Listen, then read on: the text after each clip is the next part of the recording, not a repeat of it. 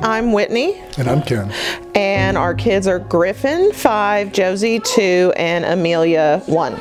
And they all go to the Hearing and Speech Center. Well, in 2020, we started noticing that Griffin was regressing a little bit in his speech and um, we realized that he needed some assistance and we tried to go through a couple different avenues but really we didn't see any um, real change until he got to the Hearing and Speech Center in 2021. When he would try to engage with other kids, he would try to pa pass ball with other kids or just engage with them. And because he didn't have his voice, he didn't uh, have an avenue to help him engage with that.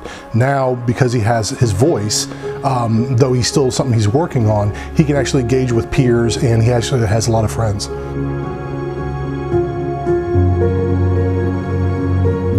Would like others to know about the Hearing and Speech Center, just what an amazing family-like atmosphere it is. Literally everybody there knows who Griffin is, knows how to help him if he's having trouble, knows how to communicate with him if he's struggling.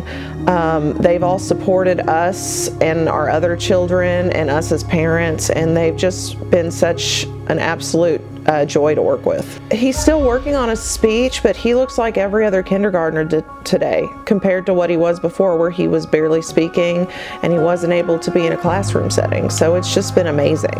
And one of the great things is that if they don't have a certain aspect of a therapy that uh, a child needs, they make sure to get it for them. They specifically worked with uh, Mr. Ben Davis, uh, who's a, his ABA therapist, um, found him a room in the building and made it his own. And now he's not only has he treated Griffin and Griffin graduated from ABA therapy, um, he's now helping other kids. Um, just shows you how much that they care about the kids and make sure that they have the help that they need. We would like to express gratitude to everybody who supports the center and what it does for families.